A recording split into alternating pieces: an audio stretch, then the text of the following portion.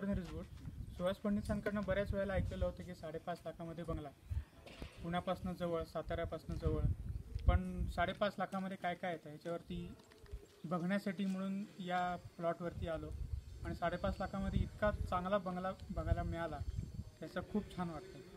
आणि एवढ्या मोठ्या एरियामध्ये पसरलेला आहे हे प्रोजेक्ट हे बघून नक्कीच आनंद होतो आहे आणि सगळ्या एक एम आय डी सीपासून जवळ आहे पुण्यापासून जवळ आहे असं म्हटल्यानंतर हे नक्की काय म्हणतात सेलेबल प्रोजेक्ट आहे. आणि याबद्दल मी नक्की खात्रीने सांगू शकतो की यातले सगळे विकले जातील.